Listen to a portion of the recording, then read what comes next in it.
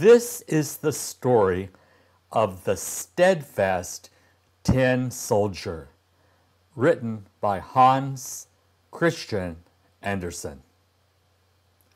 Once upon a time, there were 25 tin soldiers. They were all brothers because they were made from the same old tin spoon. They held rifles on their shoulders, and their faces looked straight ahead above their lovely red and blue uniforms.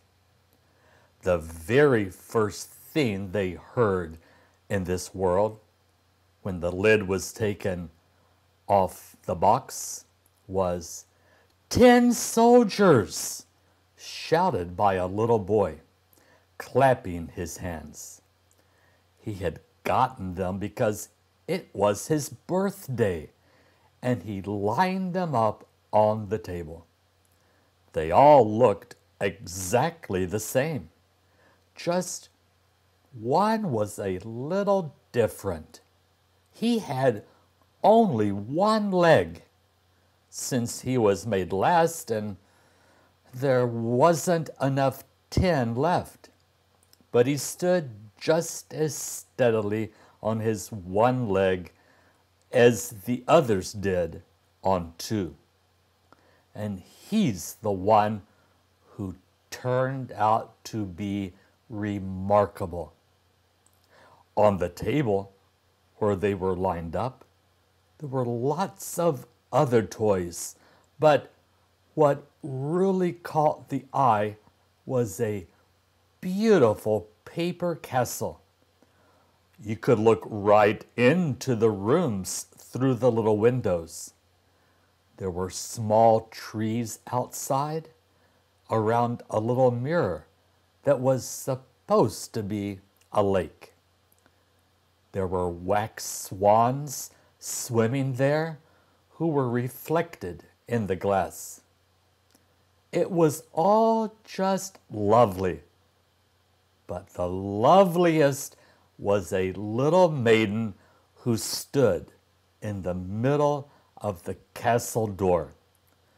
She was cut out of paper too, but she had a skirt made of the clearest muslin and a narrow little blue ribbon over her shoulder, like a scarf. There was a shining sequin right in the middle of it, as large as her face. The little maiden had her arms stretched out because she was a dancer, and she had one leg lifted so high in the air that the tin soldier didn't see it. And so he thought that she had one leg just like him. That's the wife for me, he thought. But she's quite aristocratic. She lives in a palace, and I only have a box, and 25 of us live there. That's no place for her. But I must meet her. And he stretched out to his full length behind a snuff box that was standing on the table. From there, he could gaze at the fine little lady who continued to stand on one leg without losing her balance. Later in the evening, all the other tin soldiers were put into their box, and the people in the house went to bed. That's when the toys started to play. They played house, fought wars, and went to balls. The tin soldiers rattled in their box because they wanted to play too, but they couldn't get the lid off. The nutcracker turned somersaults, and the slate pencil wrote noisy pranks on the blank blackboard. There was so much noise that the canary woke up and started to sing along, and in rhyme at that. The only two who didn't move were the tin soldier and the little dancer. She held herself straight on tiptoe with both arms outstretched, and he was just as firm on his one leg. He didn't take his eyes off her for a second. Then the clock struck twelve, and plunk! The lid flew off the snuff box. But there was no tobacco in there. No, it was a little black troll. It was a jack in the box. Tin soldier, the troll said, keep your eyes to yourself. But the tin soldier pretended not to hear. Just wait until tomorrow, the troll said. When morning came and the children came in, the tin soldier was set on the windowsill. Now, whether it was the troll or a draft, the window flew open right away, and the soldier fell out head first from the third floor. He fell terribly fast his leg turned in the air, and he landed on his hat with his bayonet stuck in the cobblestones. The maid and the little boy went down right away to look for the tin soldier. But although they almost stepped on him, they didn't see him. If the tin soldier had shouted, Here I am, they surely would have found him, but he didn't think it was proper to shout when he was in uniform. Then it started to rain heavier and heavier, and it turned into a real downpour. When it was over, two street urchins came along. Look, one said, there's a tin soldier. He's going sailing. And they made a boat out of paper, set the tin soldier right in the middle of it, and he went sailing down the gutter while both boys ran alongside and clapped their hands. Good grief, what waves there were in that gutter! And what a current! Of course, it had been a downpour. Paper boat seesawed up and down, and in between it spun around so quickly that the soldier trembled, but he remained steadfast, didn't change his expression, looked straight ahead, and held his rifle on his shoulder. Suddenly, the boat sailed into a culvert. It was just as dark as it was in his box. I wonder where I'm going, he thought. Well, it's the troll's fault. If only the little maiden were sitting here in the boat too, it could be twice as dark. Just then, a big water rat that lived in the culvert came along. Do you have a passport? asked the rat.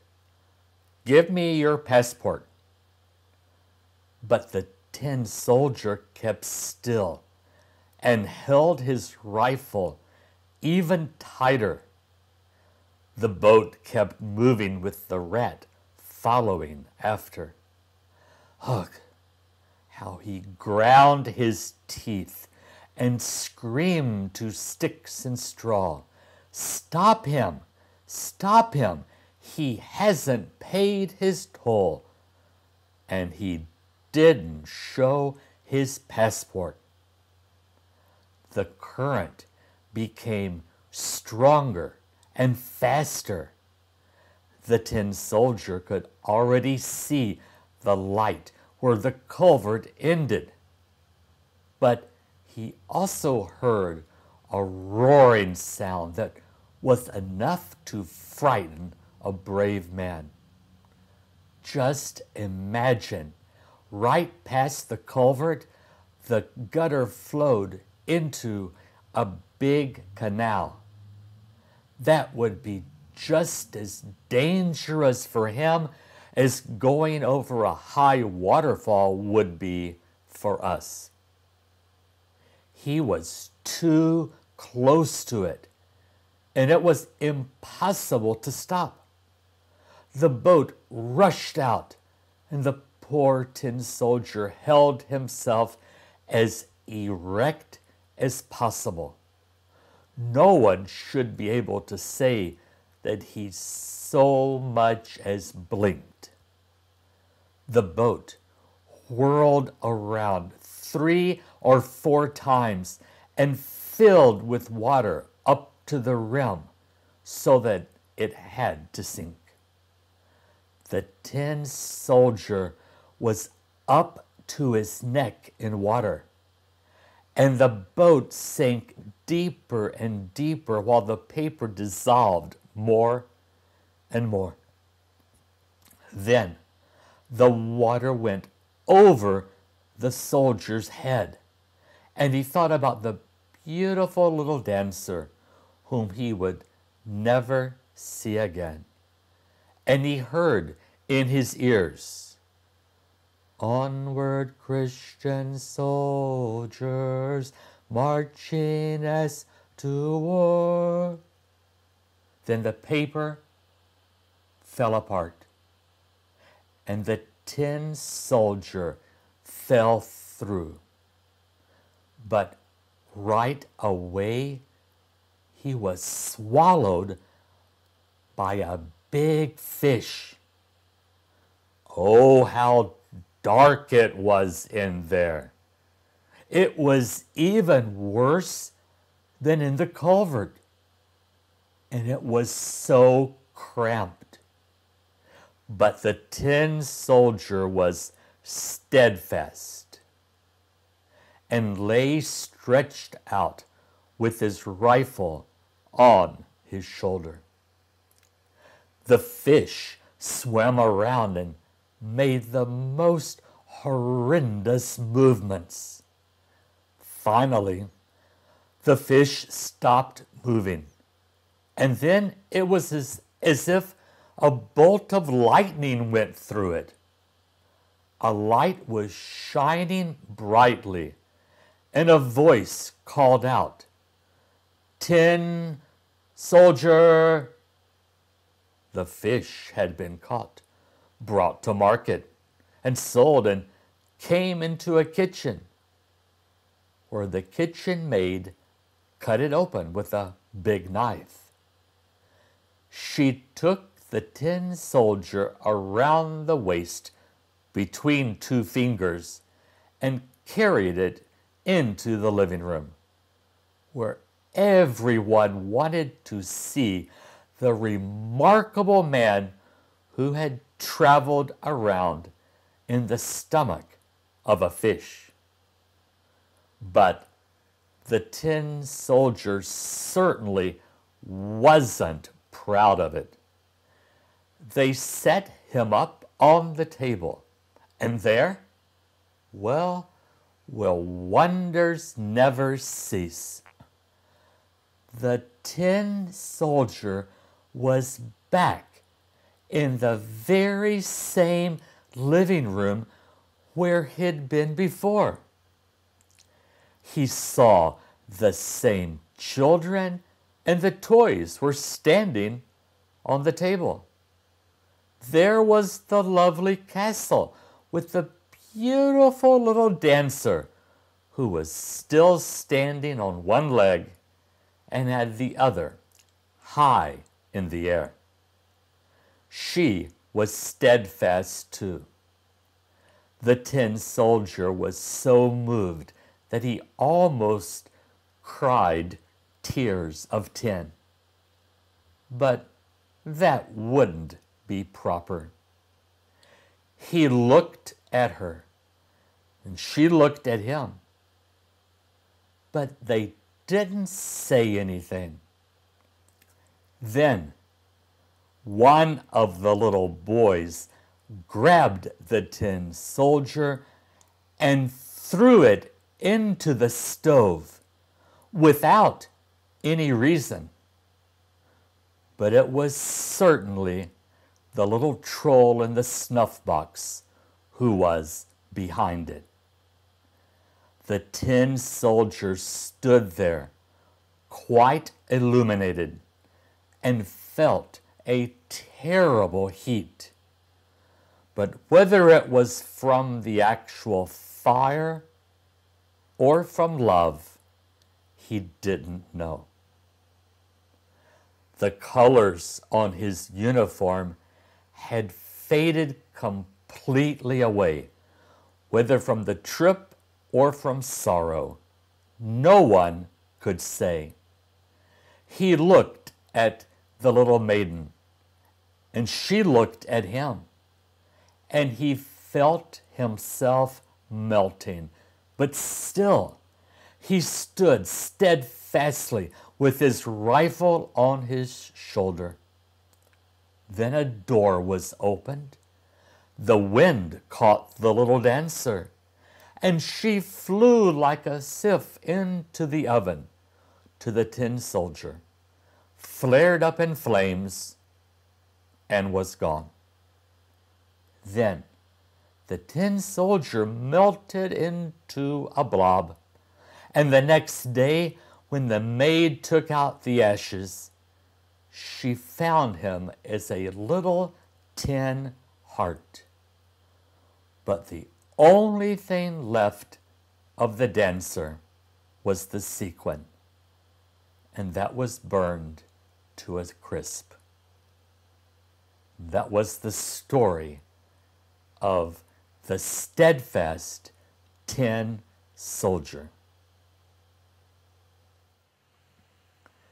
Hector the Hermit Crab, written by T. Albert, with illustrations by maillustrations.com. As Hector the Hermit Crab crawled along the sandy shallows of the lagoon, he noticed a strange shadow from across the small hills and valleys of the sand. It got bigger and bigger and bigger. What a great catch, Larry yelled to the others in the boat. We now have over 100 hermit crabs, 50 starfish, and who knows how many snails to sell to the pet shop. Let's go and deliver our precious cargo. About one week later, Tammy and Jimmy were shopping with their mom at a new plaza that had just opened in their town. It was a nice plaza and built just across the street from a small beach, a lagoon, and the big, blue, beautiful ocean. ocean. They liked to shop with their mom, but today was different. All of the stores were new, and their mom was shopping for a special gift and had told them that they couldn't buy anything. They weren't bored, but they were definitely not happy. Jimmy mumbled as they walked. Another shoe store. Oh, look, more dresses, pots and pans, just what I need. Jimmy, Tammy said, it's hard enough as it is without listening to you complain. I don't like being here any more than you, but you don't hear me grumbling. What are you doing now? Jimmy asked. Their mom smiled and just kept on walking through the maze of stores. We're almost there, she said. Almost where? asked Tammy. Almost at another shoe store, blurted Jimmy. Actually, their mom said, I was thinking of the new pet shop. It's supposed to be the best in the area. It has a giant aquarium with all kinds of fish, even a shark. There are birds, dogs, cats, lizards, and more. It's almost like a zoo. I thought you two could spend some time there while I got that special gift. Well, this changed everything. Tammy and Jimmy were now excited and couldn't wait to get to the pet shop. As they went around the next corner, there it was a huge door with a giant sign The Amazing Animal Emporium. As they walked through the door, they couldn't believe their eyes. There, right in the middle of the store, was an aquarium that was bigger than any swimming pool they had ever seen. They walked around and peered into the water and saw all sorts of creatures. Look at all the clownfish, Tammy said. Well, they better swim fast. Look at that shark, Jimmy replied. Oh, they were amazed. They seemed to be every type of fish and sea creature right in the middle of the store. This truly was an amazing pet shop. Let's see what else is here, yelled Jimmy as he walked off to explore. They were amazed at the animals that were for sale, and each type of animal had its own room. The door with the sign Slithers had all sorts of snakes. The pond had frogs, toads, and giant dragonflies. Arachnaland had spiders, and Chirps had hundreds of different birds. There were rooms for cats, dogs, hogs, and more. I wonder what's in little critters, Tammy said. There's only one way to find out, Jimmy replied as they walked in together. As they looked at all the small and sometimes unusual animals, they were amazed that people had these as pets. There were mice, chipmunks, moles, starfish, snails, clams, beetles, and all things small. Look at this, squealed Tammy. A hermit crab. Cool, replied Jimmy. Although the crab didn't do much, they watched with fascination as it crawled over the sand and rocks. Once in a while, it would start to come out of its shell and then quickly pop back in and cover its face with its giant claw. He's looking for a new and bigger shell for his home, said their mom. I'm glad I was able to find you two. This place is big. Tammy looked at the crab and said, Bye, Hector. We'll miss you. Jimmy waved to him and turned to walk away. As the three were leaving, they heard a tapping on the glass. I don't believe this, said their mom. That crab is saying goodbye to you two. I guess we'll just have to buy him and have a new pet. Now the fun began. They had the salesperson get Hector, since Tammy already named him, and put him into a box. Then they bought him a new cage, hermit crab bedding, several shells, a swimming pool water dish, special food, some rocks, and everything Hector needed to be at home, in their home. Tammy and Jimmy took excellent care of Hector, and their mom was happy to see that they were so responsible with their little friend. But as time passed, Hector seemed to be less and less happy. After all, no matter how nice his human friends were, he didn't have any friends of his own kind. Hector missed his family and the open spaces of the lagoon that he was accustomed to. One morning, Jimmy and Tammy decided that although Hector was a good pet, he deserved things they couldn't give him. Mom, Tammy asked from across the room, can we let Hector go?